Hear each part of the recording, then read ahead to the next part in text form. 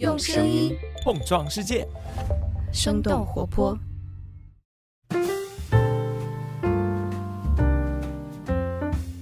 嗨，大家好，欢迎收听《声东击西》，我们一起用对话来发现更大的世界。我是徐涛，今天我们请到的嘉宾是季天晴，一位非常资深的调查记者。从复旦大学新闻系毕业之后，季天晴是在财新、南都周刊等媒体工作，做记者有十多年，代表作有《起底王立军》《悍匪末路》《华信叶简明被查》等等作品。在疫情爆发前，也就是二零一九年，季天晴获得了哈佛大学尼曼学者奖学金，前往美国访学一年。而我了解到他，正是因为他把在哈佛一年的访学经历写成了一篇文章，给了我不同的视角和一些启发。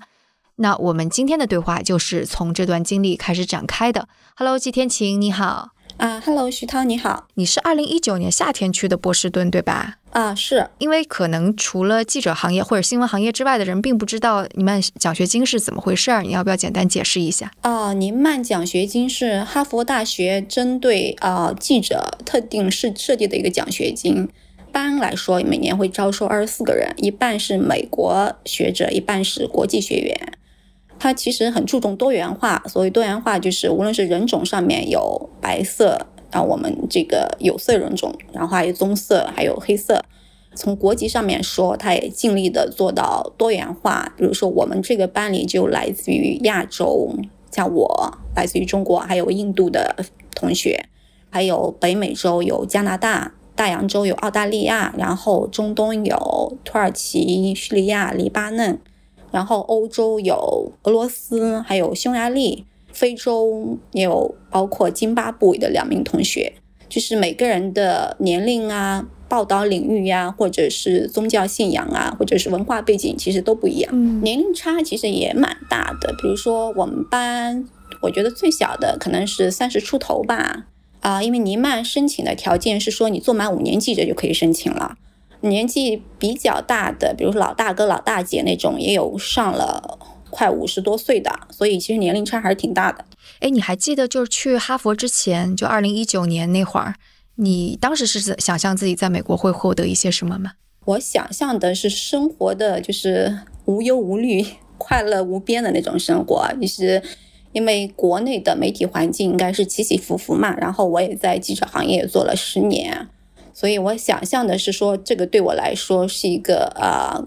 重新回到象牙塔里的生活，就是与世隔绝、两耳不闻窗外事的一个感觉。嗯，好好读读书是吧？对对，好好读读书的这样子。对，但是其实并不是如此啦，就是感受到了很多冲击。对，是。所以你还记得你获得的第一个冲击是是什么样的吗？也无所谓冲击，就是第一次刚开始，我觉得是在那个多元的环境中，你逐渐的是说对你自己，无论是对我自己个人，还是对中国、对美国、对世界的观察，都更多元化一点。所谓的第一个，就是让我觉得是说有点困惑的时候，是呃，或者说有点疑惑的地方，是二零一九年。大概九月份的时候，哈佛开学的时候，因为开学之后，哈佛对他来说，他刚开始的两周是选课周，就是你如果你不合适的话，你可以退课的。我们班一个同学，就是美国同学，也是一个老大哥，跑过来跟我讲说，他说他们班里一个女生比较奇怪，然后这个教授就以班上不接收旁听者有为由。把这个中国女性给拒绝了，然后我当时说，我说，哎，我说不太可能，他不接受旁听者，因为你你也是旁听者嘛，就是我们这个同学也是旁听者。然后我们这个同学给出的解释说，或者说教授给他们给出的解释是说，这个女生在课上到处搭讪，有同学反映不希望把这个中国女性留在课上，因为他们怀疑她是不是一个类似于这个都到处收集信息的一个。一个间谍这样一个角色，但是因为我觉得是说，其实也不太可能，所以不太可能是说他这个课程跟中国也没有什么直接的关系，而且是个人文课程。我们这个美国同学呢也很开放的来跟我交流这个问题，就是因为他对中国或者对中国的认识也很困惑，就是他也来问你说，呃，什么样的渠道才能获得跟中国有关的比较可以信赖的这样一个信息源吧？所以他这个东西呢，其实并不是刻意的一个偏见，而就是说。真的就不知道你们这个国家，或者说我该怎么来了解你这个国家的这个样子。就是他跟你说了这事儿之后，你的反应是什么样？我当时就问他说：“我说如果觉得他是间谍的话，有没有证据啊？”我的第一反应就是这个嘛，呃，因为世界对中国的认知在变化，在我日后的交往过程中，我越发觉得是说，其实。在当下这个环境中，其实你是谁不仅仅是你个人的问题，而其实是跟外界对这个国家的认识，或者说跟他的误解是紧密相关的。而我们现在当下的情况，就是说，当一个中国人在美国，或者说在那个当时的，我就说当时的那个情境环境中，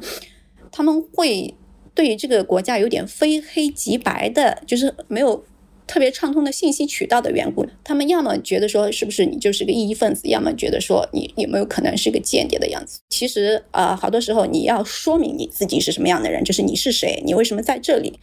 好多时候你其实还是要给对方一个说明书的样子。嗯，所以对于你而言，其实那时候的一个不一样的想法就是啊，什么他们原来是用这种眼光来审视。我或者是我的同胞是这种不太一样的感觉，对吧？刚开始其实我还不是这样的一个感觉，跟他们交往多了之后，就是包括我到第二学期的时候，还有另外一个同学，其实他们都不是恶意，就是人家来跟你谈这个话题，就是希望获得你的反馈的，就是或者希望你来谈谈你眼中的中国什么样子的。我觉得这个事情其实我们还是要用开放的心态来看这个东西。对你自己或者对整个国家或者就各方面，你有一个心灵之旅吧。就包括我在啊哈佛第二学期的时候，我还记得当时啊，我们也有一个同学，就是也是一个美国同学来跟我讲说，他说你知道吗？肯尼迪学院又发现了一个中国间谍。我说我怎么没听说这个事情啊？我的第一反应就是说，我说肯尼迪学院。也不太可能出现中国间谍，因为肯尼迪学院的研究呢做的相当于还其实还还是跟时事啊或者政治相关的，它也不是那种高精尖的一个信息技术的堡垒的这样这样的一个一一个样子，还是回到那个东西，就是你是谁，不仅仅简单是你个人的一个问题，其实是永远是跟这个国家联系在一起的。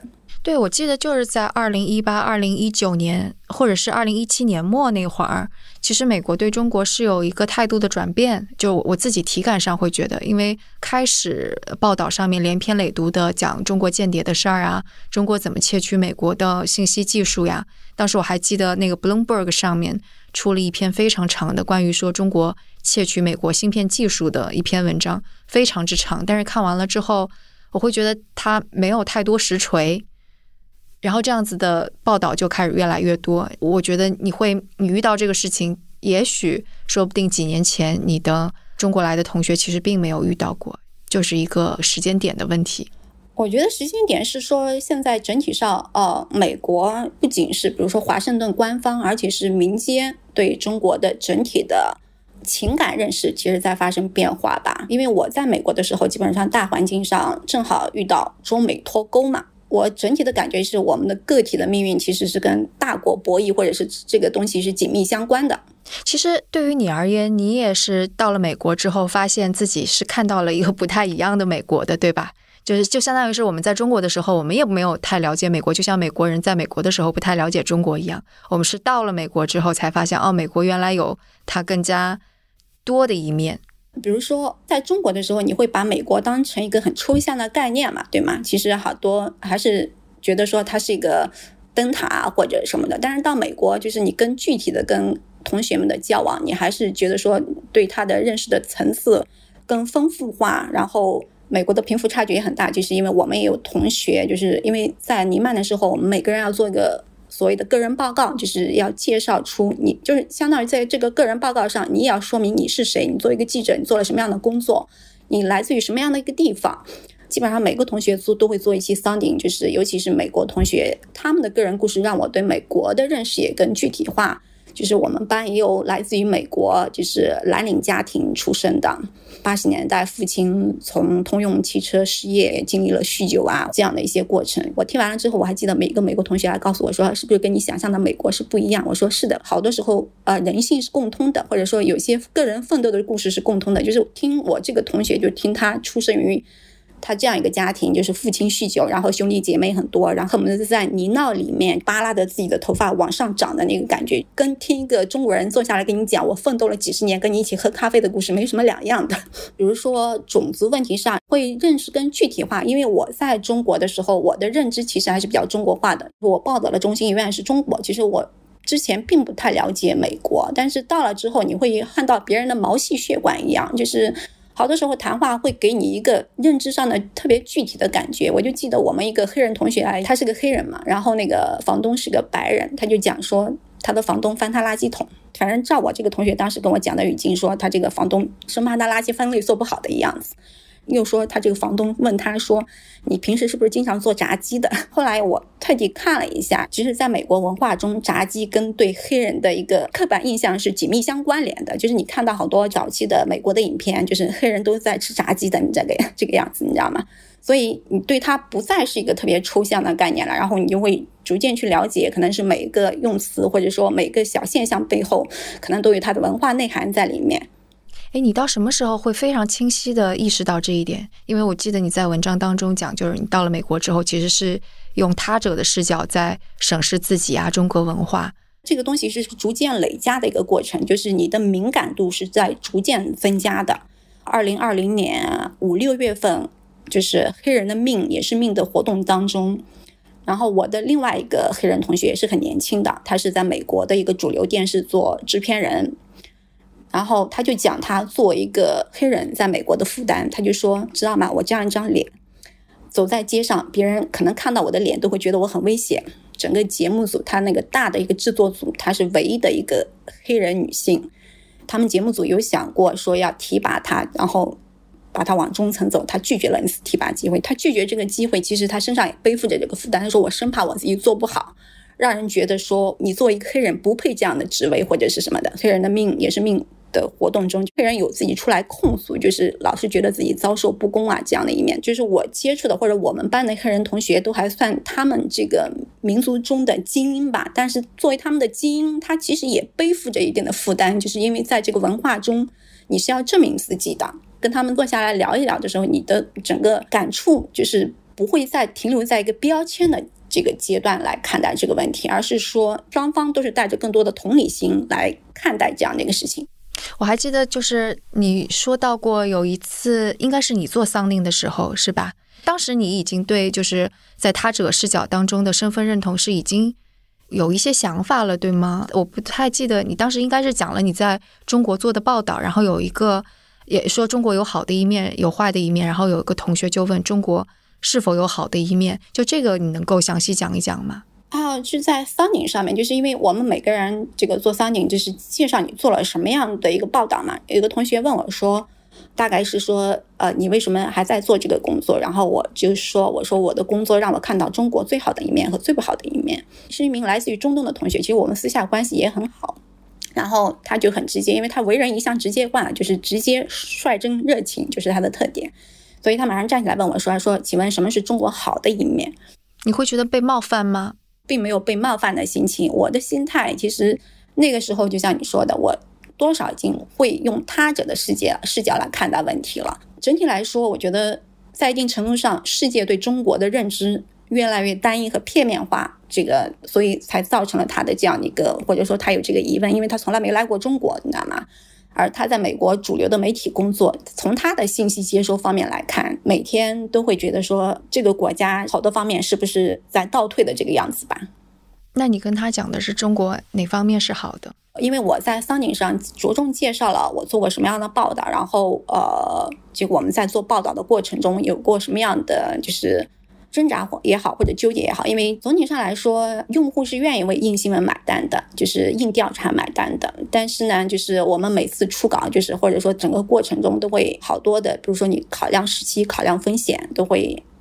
在这个过程中会啊权衡特别多的东西，所以每一次就是我个人的经历来说，我每次出大稿的时候都特别不容易的，所以我也很感谢我的历届的前单位们的担当，对吹哨人什么的，对。但是而且在这个做报道的过程中，其实好多人都冒了风险来给你提供材料的，所以我觉得在这个过程中，就是别人把信任放到你身上，这个好多时候就是。比如西方媒体，他们在一个像美国这样的环境中，吹哨人冒着更大的风险，对吧？其实这个中东当中是体现了好多，我觉得人性的高贵之处。我自己在做新闻的过程中，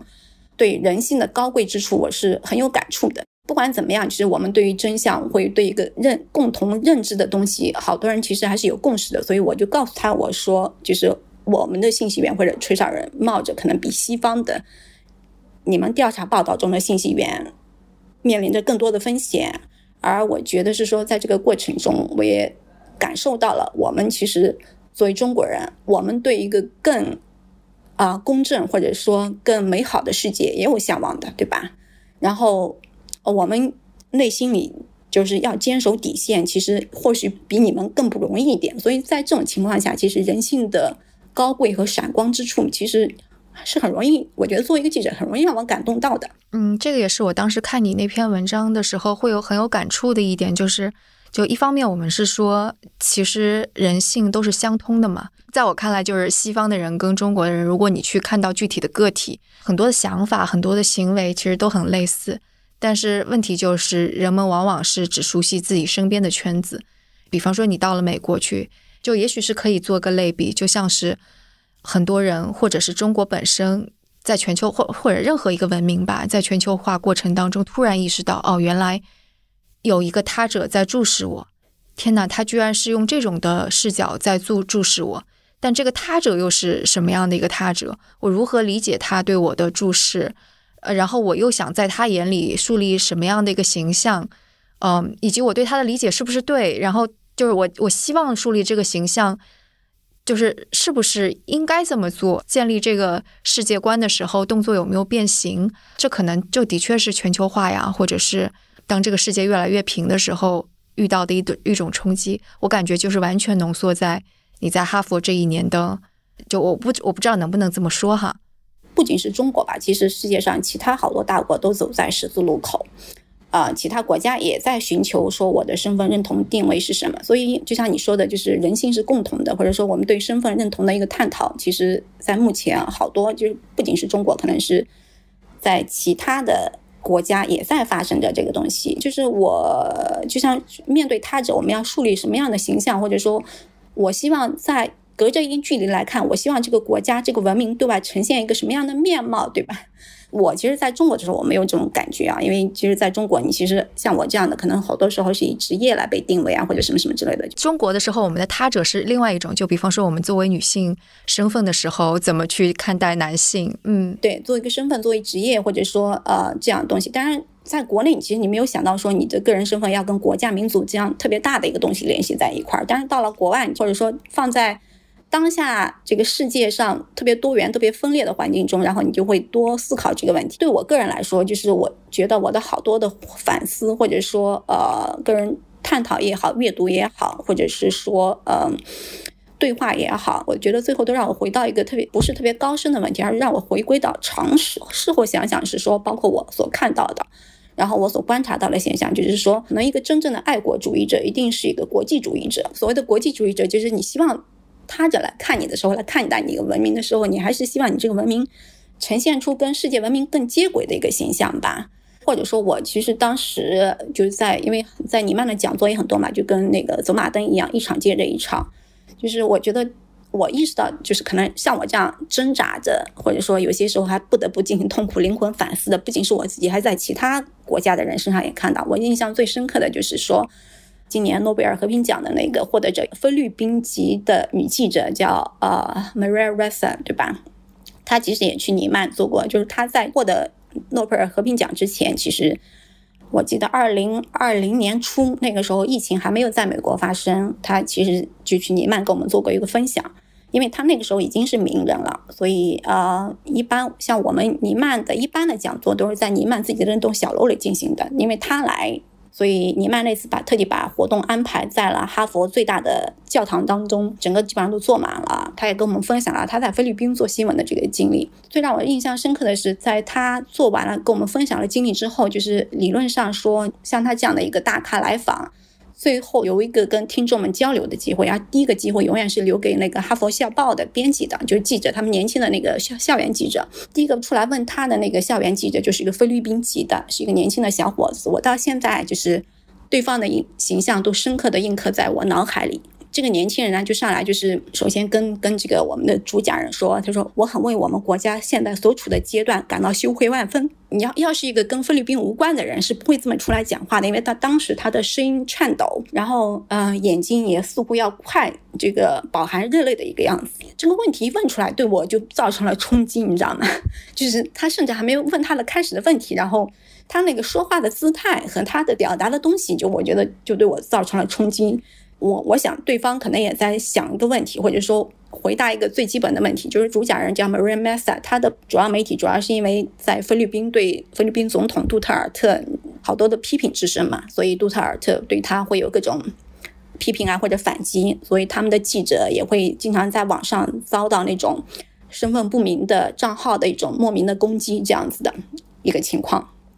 所以这个哈佛的校报记者，一个菲律宾的小伙子，就是你能看到说。他虽然说他对这个国家为他现在的阶段感到羞耻，但是你其实能看到的是说他对这个国家特别深情的一面，你知道吗？他其实思考的是说我的忠诚该归于何处？就是你对这个国家有什么样的愿景，或者说你希望它呈现是个什么样子的一个面貌，而不是说把国家甚至。跟领导或者跟跟单个的领导人的形象联系在一起的一个样子。我是后来特地跟尼曼的那个，就是我们的那个项目的副的负责人、副主任交流过这个事情。我说啊，我说其实在现场他那场讲座让我印象最深刻的，并不是这个主讲人本身，而是这个 这个这个校报记者的提问的表现，给我印象特别深刻。天哪，就是你在说的时候，我都能够体会到，可能在你心中。引发什么样的情绪？因为你就一下子就让我想起很多，就我在美国待七年嘛，带给我的情绪。因为我觉得这个感觉是这样子的：我之前没有出国之前，我觉得成为一个世界公民是可能的，就我可以在这个世界上任何地方漂泊，我可以吸收任何的文化，我可以去拥抱这些文化。我觉得中国的文化可能就是只是就是我经历的其中一段很大时间的一段。然后后来我出国了之后，我就会发现。就相当于是之前我的坐标只有一个类似于 X 轴，当我去了其他的文化之后，看到了越来越多的坐标系之后，就是我之前的那条 X 轴可能恰恰就定义了我是谁。然后当这些文化越来越多，我的归属感就会让我意识到，哎，原来我对这一种文化的情感或者我的身份认同，它就已经牢牢的在那里了。就有的时候突然。在旧金山街头听到一首中国的音乐《春江花月夜》的古琴，我就一下就会呆住，然后就心潮澎湃。我就觉得这个的确是，当有了更多的参照系，它并不会抹去你的身份认同，反而会加强你的身份认同跟情感的认同。就这一点也是挺神奇的。啊，是，但是我觉得这种身份认同和情感认同，跟你最初出发的那个点，就是参照系肯定是不一样的。你对他的身份认同或者情感认同，其实加入了更多的思考在其中。对，是的，是的。就我会说到参照系这个东西，就是当我们只是在一个单一的环境当中，比方说我们在国内，我们的参照系其实很单一，所以我才会说，就是比方说我们出国了之后，突然一下子发现了他者的视角，我们用他者的视角来审视自己的时候。才会更深层次的去问说，为什么我会有这样的认同？为什么会有这样的情感？我是谁？我究竟要在他们的眼中表现出什么样的形象来？而这个在单向度的维度当中，它不是一个问题。但一旦当这个坐标系变得丰富，他者的视角变得多的时候，这个反而就会成为了一个非常重要的东西。我想，可能更加典型的就是在。更多原文化，就比方说，刚刚我们说，在美国，可能非裔美国人有他自己的身份认同，但他同时又是美国人，所以当他遇到一个可能来自外来文化，但是又是不一样的，可能比较典型的是你的那个克什米尔女友吧。我感觉我在看他故事的时候，我感觉他身上有很多种身份认同的撕扯，也是因为坐标系已经非常多了。就比方说，他有。他所在的这个地区归属于不同的民族国家，然后他又有宗教的自我认同，同时他又有类似于阶层身份的认同，因为他强调他的学历啊之类的。你会说你最开始看到他的时候会对他印象并不是太好，你要来讲讲他的故事吗？也不是说印象不是太好，就是我觉得，呃，事后看来其实不是他的问题，是我的问题啊，因为我觉得我对我，我觉得我过于这个呃先入为主的判断人了。呃，我在哈佛那一年里面也写到过他，其实我觉得我写他的时候，其实还是很饱含深情的。嗯，我能看得出来，但听众不一定看过那个故事，所以你再说一遍。嗯，啊，明白。我跟克什米尔同学是一块儿呃上课的。然后我们一起在上过哈佛本科生的，就是比较政治学基础的课。后来私下关系还是不错的，刚开始都不熟悉嘛。他的自我介绍就给我留下了深刻的印象。他是说，呃，我来自克什米尔。这个以后就是我在无数次听他跟别人做自我介绍的时候，这永远是他的第一句话。所以他的身份跟克什米尔是紧密联系在一起的。第二句话是说，呃，我上个哥大，我有哥伦比亚大学的硕士学历。像我这样很容易对别人先入为主的，所以我当时其实心里就咯噔，我说啊，你会觉得说啊炫耀学历的一个感觉嘛，对吗？但是事后看来，其实我也跟他旅行过或者什么什么之类的，其实我觉得他身上也背负着很重的负担。所以就是因为好多人对于啊一个穆斯林女性有好多的可能看法，对吧？或者说也有特别多的刻板偏见。用他的话来说，简历上的常青藤学历是打破别人刻板偏见的一个最快的手段吧。然后克什米尔的问题呢，是克什米尔是印巴，就是印度和巴基斯坦那个分治的一个遗留物。克什米尔是以穆斯林为主，但是归属于啊以印度教徒为主的印度。巴基斯坦有自诩巴基斯坦是穆斯林为主，所以有自诩是克什米尔的一个保护人。对于印度来说，克什米尔也是一个充满着冲突的地区吧，尤其是这几年来，印度的总理叫穆迪，为了迎合印度国内的印度教徒的民族主义者，也对克什米尔实行了高压政策。所以你看到我们克什米尔同学，每当谈到比如说印度和克什米尔问题的时候，他总是在理直气壮的谴责，做一个弱势群体，他在谴责一个就是强势群体对他们的一个。高压手段吧，但是我觉得当他在美国的时候，他在美国作为呃一个穆斯林，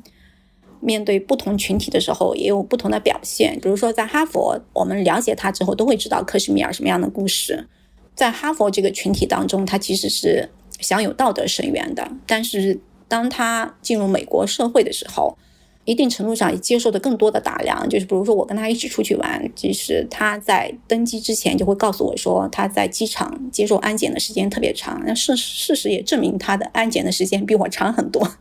就因为她是个穆斯林女生，因为她戴头巾是个穆斯林女生，而且我觉得是说多少，我觉得尤其是美国经历了九幺幺之后，而且我觉得穆斯林不仅是美国的问题，可能现在欧洲，比如像在法国大选中，现在穆斯林也是一个问题。特朗普在上台之前就提出来说要禁止所有的穆斯林进入美国，然后上台之后又颁布了针对几个穆斯林为主的国家的入境禁令。一定程度上，我觉得说面对不同的他者，他的表现其实也是不一样的。诶，他戴头巾其实也是他想要坚持自己身份认同的一种方式，是吗？他可以选择不戴的，对不对？因为这个话题其实他自己跟我聊的，因为我我总觉得出于文化经济，我好像不太好跟人家去聊头巾这个话题，对吗？然后，嗯，但是是我们在私下交流中跟我讲的，他就讲说，呃，他说我对自己的外表也特别敏感。然后他母亲那一代其实是不戴头巾的，啊，据说在克什米尔呢也有也有穆斯林女性是不戴头巾的。但是你知道，他其实是在一个就是相当于在印度那样的国家，充满了一个叫文化和对抗的一个国家里，他其实他戴着头巾算是坚持自己身份认同的一个标志吧。就是当他者在注视你的时候，你反而会要坚持这些东西，可能体现形式就或强或弱啊。是，对，就比方说，像我在旧金山的时候，可能会比我在国内更愿意去带一些带有中国元素的东西，意愿上面。但是他可能出自的原因就更加强烈，更加有他反抗的那一面吧。啊，对，是。刚刚你也提到特朗普的这个事儿嘛，我就会觉得。就是因为刚刚我们讲说，就是当这个世界全球化，然后我们用他者的视角看待我们自己的文化也好、民族也好、国家也好。然后事实上，我在看美国的时候，我觉得事实上这个他者也被当成是一个大棒。就比方说特朗普，其实他在当政的时候，他是竖了很多他者的，对吧？他把穆斯林竖起来，墨西哥，然后中国，这个事实上也就被被政治化了，然后又融入到了。我们的媒体叙事当中去，就起码是右翼的媒体叙事当中去吧。就是我在美国的时候，就是稍微对美国的历史感兴趣一点，就是回过头来看，就是美国历史上每一个阶段都是需要敌人的，就是他是需要敌人的。那当然，因为一旦有一个敌人或者有一个他者，他的政客其实就更好办了嘛，就可以有有一个话语权，就掌握话语权的主动权嘛，对吗？我觉得有一个敌人在，对于美国就相当于他内部的一个话语权的一个团结或者掌握主动权，其实对他们也是有利的。嗯，这个是你上课的那个政治学或者什么上面的一个理论，对吗？也不叫一个理论，但是我是觉得说，就是纵观美国的历史，对美国来说，这个他者是永远存在的，就或者说也是不停的需要一个敌人的，就是所谓的敌人，就是说有一个他者存在，就对政客来说，就是话语权更会更更好办一点。就是比如说一战那会儿，英语里面的好多原来的德国单词都被弃用了。二战那会儿，美国其实有把日裔美国人送进集中营，包括在后面，你看到美国八九十年代，尤其八十年代那会儿，日本经济崛起的时候，就是当时好多日裔啊，也在美国，就是被作为一个美国就是蓝领或者说阶这个经济下滑阶层下滑的一个替罪羊嘛，在那儿。所以，就是纵观美国历史上来说，其实我觉得美国也是需要他者或者需要敌人的。但是，我觉得美国人也会借助他者的眼光来看待这个问题。就我的感觉，就比如说，因为去年哈，应该是去年傅高义去世了吧？傅高义去世，当时我跟一个同学有探讨过这个问题，就是我们中国人经常会说，这个是谁谁谁是中国人民的老朋友，是吗？但是站在美国人的角度，或者站在他本身的角度来说，他的本身的意向并不是如此。站在我们角度来说，可能说，哎，他写了我们中国，或者对外解释了中国，他是中国人的人民的老朋友，什么什么之类的。但是在美国来说，站在他们自身的角度来说，他的主要的出发点其实是为了帮助。美国了解世界，了解你们，了解你你们这些国家有什么样的就是什么样的政策，或者有什么样的这个值得美国借鉴的地方的。所以，我其实我这一年无论是看美国媒体，或者看美国的那种学者或者政客啊，或者他们的讲话，我的最深刻的感触是这一点，就是当美国来。进行解释世界的时候，他其实是为了，也是为了借助他者来让美国或者说其他国家有什么值得借鉴美国借鉴的地方。嗯，这个可能是精英或者智库会有这样的想法，但我感觉大多数的美国人其实还处于一种并不在乎他者的一种状况。啊，可能是，就是你刚刚讲到说美国很需要他者，的确是因为他们没有一个统一的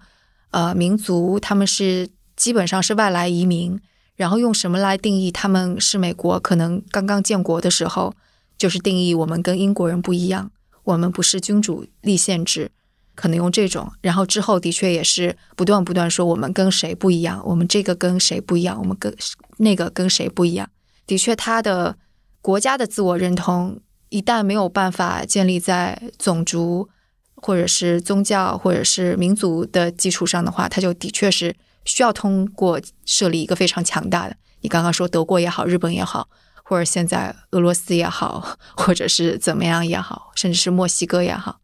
我我觉得这个是是 make sense 的，是是有它的道理所在的。这个就是又回到，就是我们最初说的，就是人性的确都差不多，就是对大多数的，无论是在哪个国家，可能的确这种认知都是狭隘的，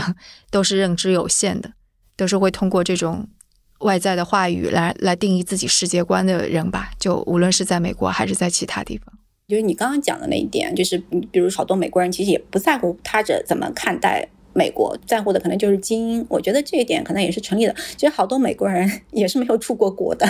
我之前看过一个数据，大概是美国呃参议院里面多少议员，大概百分之四十的议员是没有护照的。因为我记得我当时是跟一个美国同学探讨过这个问题的，他当当时给了我这个数据，但是我当时还挺吃惊的。对啊，其实是这样子，就是美国人他在乎美国的新闻，但他很少去在乎国际新闻，你更加别说是其他外国内部的，我觉得都关心的很少，不像中国，中国感觉无时不刻不在关心国际政治大事儿。连出租车司机都会跟你聊一下。其实中国只关心美国，你知道吗？我我的感触是是这个东西，因为我这一年的感触就是，可能中美关系对中国来说太重要了，中国人的目光是无时不刻的都盯着美国。其实对世界上其他地方倒不是那么关注的。中国自己在树立自己形象的时候，现在就相当于是就只树立了美国的一个坐标系吧。中国现在会更多的想要用他者的视视角来审视自己。也跟之前中国那一段历史经历太糟糕有关。我们太想要通过他人的承认来证明自己，所以反而非常在乎最强的那个人的一举一动，就会给我留下这样的印象。这个就是当时我们说的，我们认识到的那个他者是不是全面，然后他者的审视是不是又会改变我们的一些对自己的认知跟行为，给我的感觉就是这样的。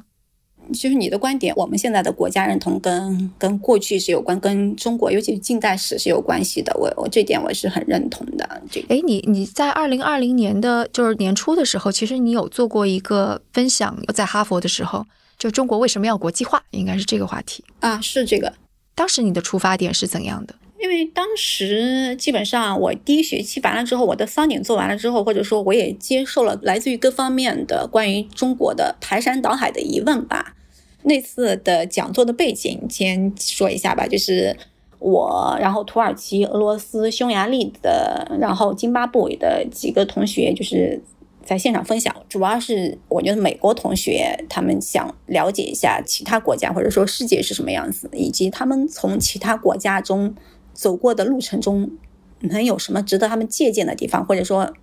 他们有哪些警示可以从其他国家的这个经历中获得的这样的一个地方吧。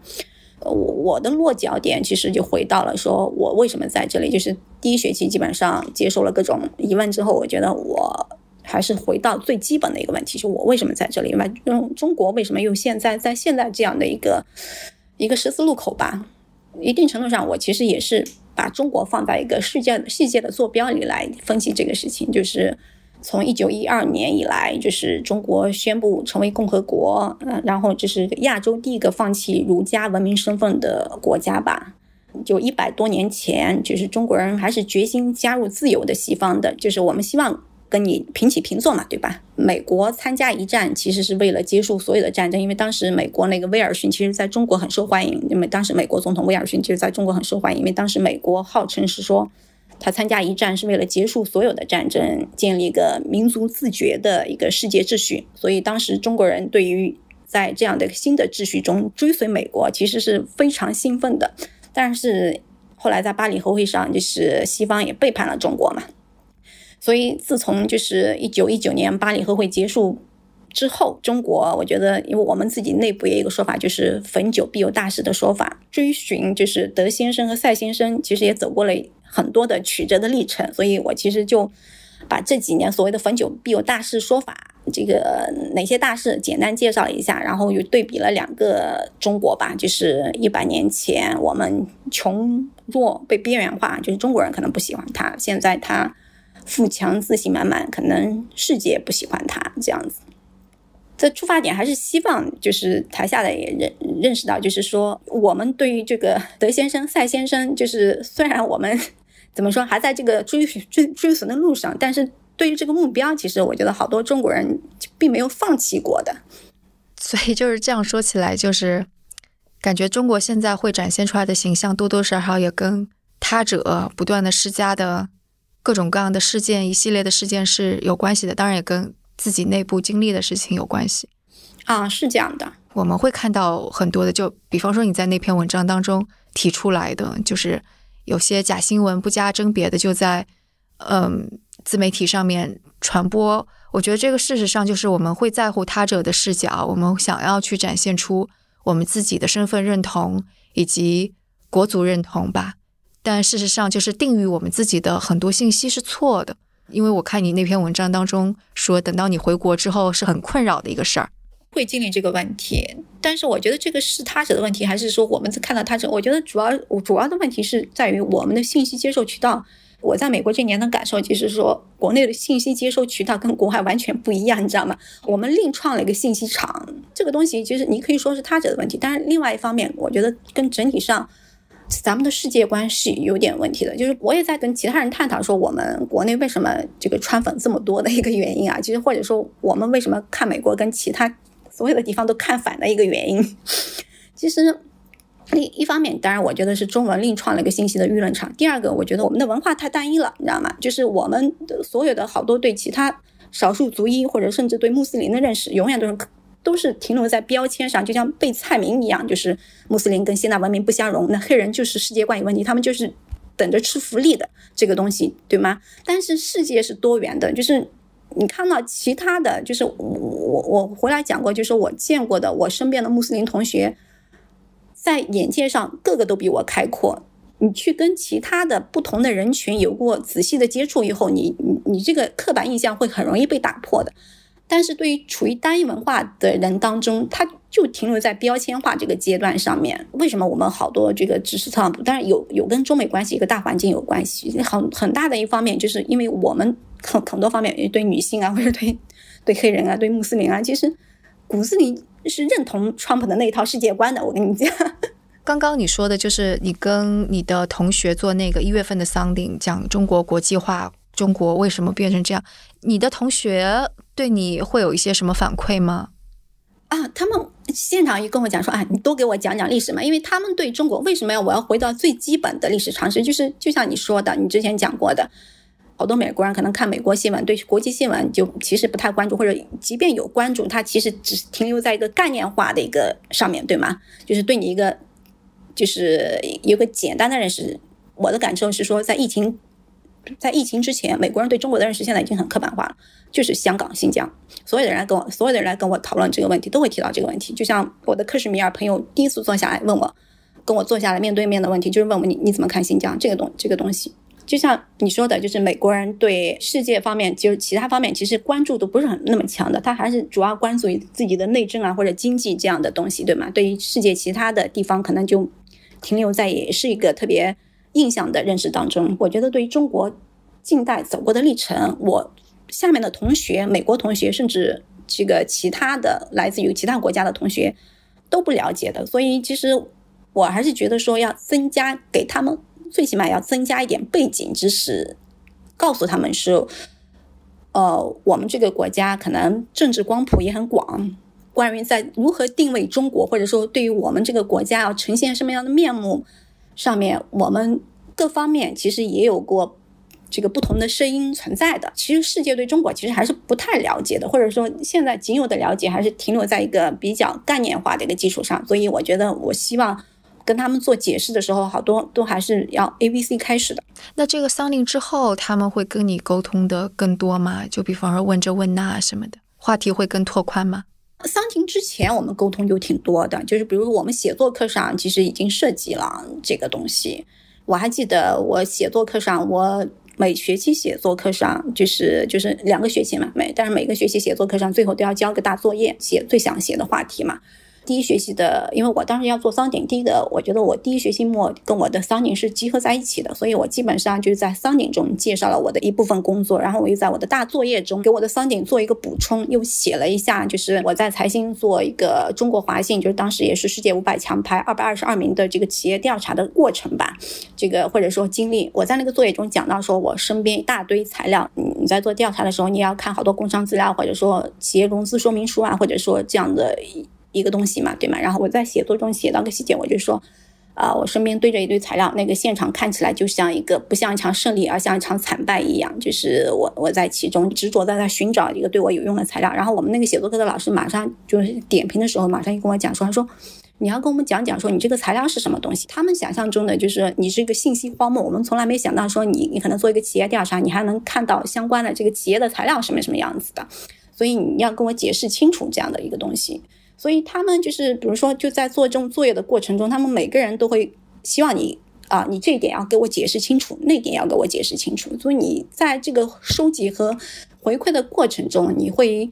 对你会对他者来怎么看待中国有个更具体化的认识。然后你对于你该怎么样解释自己的国家，你也会积累了更多的经验。这个经验就是我我总结回过头来总结就是。不要讲特别深奥的话语，回到常识，回到 A、B、C 来做这个，就是所有的东西，所有的背景都要交代清楚的这个样子。所以这段经历会让你决定之后你用什么样的立场啊，或者方式去展现自己和自己的文化吗？第一学期写作课的时候，基本上我还是就像那个老师说的，你想写啥就写啥，所以就比较随性。然后到了第二学期，就呃做完桑顶之后，然后甚至。第一学期的就是接受各方面来自于这个信息之后，我到了第二学期，我在写作课上，我觉得在这个生活中，我就会有意的介绍我眼中的中国吧。就是虽然说对外呈现的形象越来越单一，但是内部可能还是相对来说还是比较多元的。就是比如说，呃，我也介绍了我眼中的普通中国人的这个形象，就是意识形态其实。在我们生活中，并不如他们想象中的那么就是渗透到了每个枝节，对吧？就我们所理解的普通中国人的生活，还其实跟跟美国人没什么两样嘛。其实每天担心的可能是想了今天晚餐吃什么，然后度假怎么度，然后孩子的学业怎么办，对不对？因为我作为一个记者，我可以解释，就是我们做一个具体的工作中，当然我写一个故事，就是我在每个故事背后都有一系列的博弈啊，或者说这个衡权衡，然后我就会把这个博弈和权衡，在这个过程中对我个人的情感的消耗写出来，就会向他们展示说，为什么我们中国记者不是他们所想的那样子，就是你要成为一个全职斗士，因为我们。成为不了，对，其实还是想呈现个更多元的一个东西。我还记得我刚开始就是去尼曼不久，跟他们不停交流中，然后我会把他们对中国的印象就是吸收到我体内，然后我在想我怎么反馈出去。我还记得我刚开始我遇到我们班匈牙利同学的时候，我们匈牙利同学一跟我谈论这个呃中国的大概是种意识形态的问题吧，然后我当时就跟他讲了一句，我说我其实我自己感觉说我们的政治光谱还挺宽的。然后你很明显的看他脸上都很吃惊的说啊，你们还有中还有政治光谱这件事情吗？美国人对中国的看法不太可能，但是我只是觉得说，在我的小环境，在我们班的同学里面，还是呃尽可能去分享我看到的是什么样子吧。所以这种感觉就是，如果是在这个全球化过程当中，我们被其他人所定义、给贴标签不可避免的话，那我们要所能做的就是走进去，拉近距离。做更多的沟通，然后在他们面前展现一个更加丰富的自我，这可能是最重要的了。从整体上来说，这个力量其实是很微小的，你知道吗？因为大势放在这边。总体上来说，其实。你所在的地方就是中国嘛，你怎么样就是这个国家的怎么样嘛，对不对？在一定程度上，就是我觉得我做一个个体，就是我也能开放的接收你们对于中国的看法，然后我也会去谈谈我眼中的中国是什么样子。就像我跟那个克什米尔同学讲的，就我们克什米尔同学刚开始事后给我的反馈就是说，他从来没有想到会跟一个中国人会成为朋友的。但是事后我们其实也会坐下来聊天，然后因为做一个同为亚洲。来自于亚洲，甚甚至我觉得作为一个亚洲女性的这样一个身份，我们很多有有好多共鸣。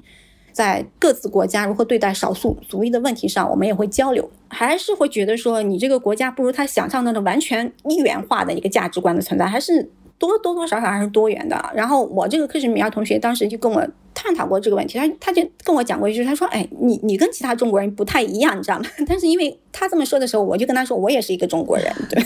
对吧？”也要问说你遇到过多少个中国人？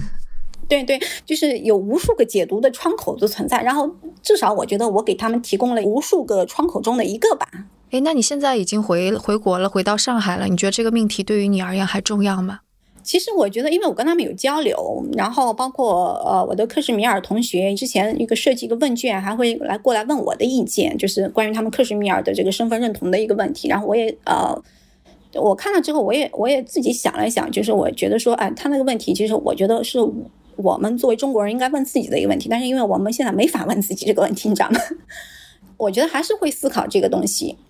但比方说。遇到这个问题的时候，可能有两种选择嘛，就是你跟其他的呃其他文化的人交流，一种就是你就是你自己，你把自己当成一个世界公民，沟通是两个人的个体的沟通，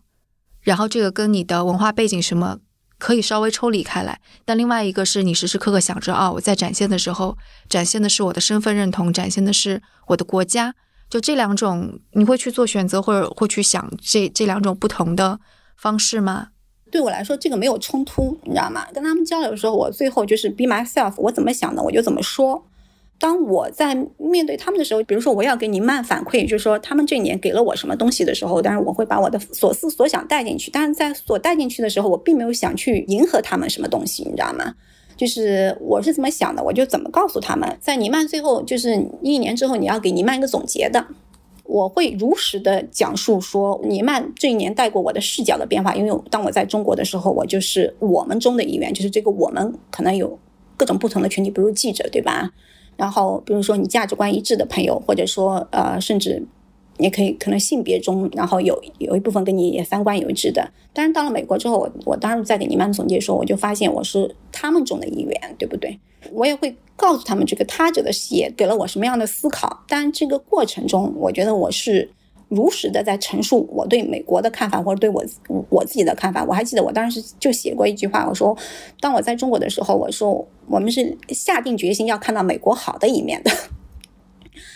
对，但是到了美国之后，你你也会看到更多元的一面。然后我有一些事件让我认识到，可能在当下的美国这个环境中，我做一个中国人，我是要自证清白的。原来我以为我来这儿就是也是要成为我们中的一员，但结果发现我是他们中的一员，对吗？然后我觉得这个东西过程中，我我会如实的反馈给尼曼，或者说反馈给美国人，在这个过程中，其实我觉得他们也需要这个东西，因为。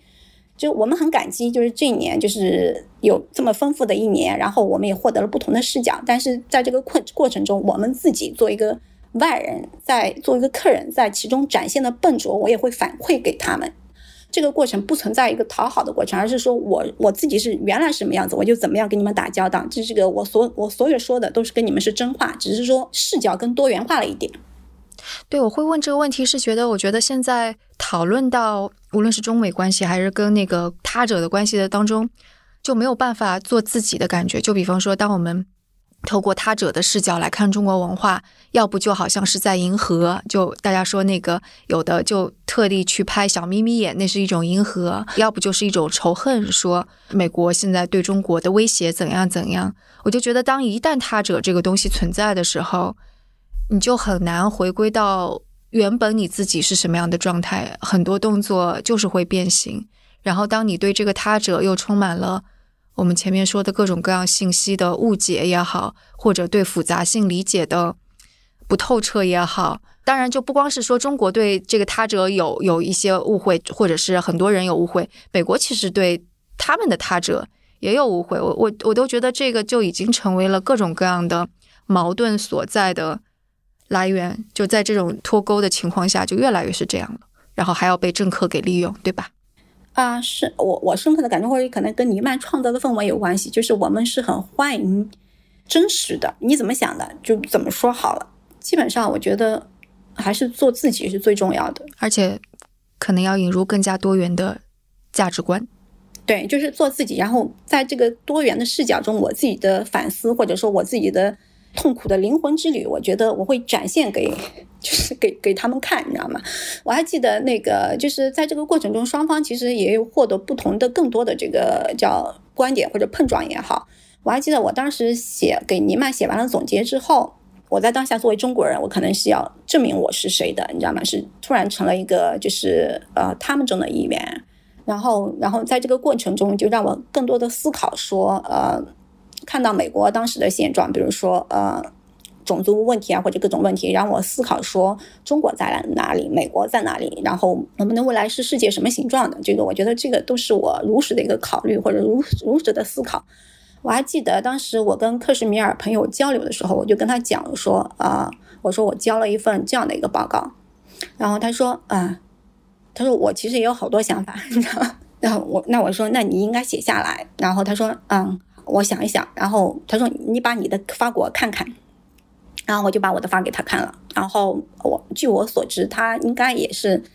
借助不同的镜子来认识自己。我觉得他应该也提交了一份这样自己的一个一个东西给美国人吧。所以我觉得就是这个过程中，呃，我觉得大家开诚布公来探讨一下这个东西，其实。获益比较多，就发现说啊，原来有这样困惑的不仅我自己，你知道吗？其实大家或多或少，其实面对不同他者的时候，其实都有负担，或者说都有困惑。然后在这个沟通中，其实大家的认知、批判力，或者说你的认知的多元度更为上升的。你刚刚说这是一段痛苦的心灵之旅，为什么要用痛苦这个形容词？这个过程中其实是以一定的心灵挣扎的。我原来想的就是说，我是来过一段特别轻松的日子的，对吗？但是后来一发现，其实你还是有各种要接受各种的碰撞，这个有这个拉扯感。在这个拉扯感过程中，其实你会逐渐去反思。我记得我二零二零年春节在美国，因为美国不过春节嘛，但是因为当时这个算是寒假期间，二零二零年在美国春节期间，我当时从哈佛借的一本书是《五国五名林语堂》的。所以你原来其实你在国内其实没有想到说仔细去看这本书，但是你在国外的时候，你就想说，你看看当时林语堂去，他经历了个怎么样的一个这个心路历程，然后想到说，一九三零年代，当时可能是在美国还有排华法案的时候，他当时。呃，要面对美国人怎么样介绍自己的国家，把他这个国家的全面性呈现出来，所以你还是会更多的一个借鉴之处，就是它不是一个特别容易的一个过程。但是当你整个的想通了之后，当你在呃一个陌生文化或者陌生环境中的时候，你首先要克服的其实是不安全感。在克服它的过程中，其实我多少是有点笨拙的。你刚开始一下子还没有带入到他者视角的时候，你刚开始会有点冲击力的这个东西存在，但是。逐渐的，你把眼界或者说把视角放到更大之后，然后你会更深层次的来考虑这个问题，然后事后想想，是说你的收获还是更大的。我觉得这个简直就 call back 了我们的 slogan，呃，或者是那句话，就是用多元的视角看见更大的世界。对，呃，你现在还会做一些跟这个呃议题或者母题相关的事情吗？就除了跟你的同学保持沟通之外？我以前其实并不关注世界，就是在可能去再去尼曼这些并不关注世界，但是呃，我我明显觉得说我现在的信息触角会更多的关注世界，也会更多的关注其他国家对自己啊身份认同的一种思考啊或者反思也好啊，这当然既跟我们的同学们有关系，就在尼曼班里穆斯林还是有好几个的，比如说我们一个非洲同学，他是双重国籍，既是法国人呐，又是又是那个阿尔及利亚人，因为。阿尔及利亚以前是呃法国的殖民地嘛，所以出于社交或者说出于各方面，你突然觉得一下子这个世界其实跟你是有关的，然后我也会呃呃就是关注他们这种议题吧，所以呃在关注这个议题的过程中，我觉得我呃也会去往回看，所以看看历史，所以我觉得就是无论是中国现在所处的状况，还是可能欧洲所处的十字路口所谓的这样的一个状况，其实。历史上都能找到回声的。然后，比如说，反正我之前在看那个一战之前的欧洲，当时的德国是什么样子。其实 我也是去年的，去年就是中美关系很差的时候，正好在读一战时候的一本书。不能说我要给出什么样的直接答案或者什么东西的，但是只能说让我的思考或者说我的阅读的兴趣范围更广泛了一些。对，脱开我们。之前的自以为非常熟悉的世界，进入一个更加陌生的世界，去了解更多的东西吧。就拿法国来说，因为我那个同学就黑人，就是非裔，然后又是个穆斯林，所以其实他现在他那个法国的议题跟他是密切相关的，所以我也会多看一下那个东西，然后也会看看说啊，其实历史上。当年法国德累福斯事件跟现在其实只是针对的对象不同了而已，其实探讨的议题还是相同的。所以也欢迎在留言区或者是在邮件里边问季老师问题吧。啊，好的呀。对对对，那我们下次节目再见。再见。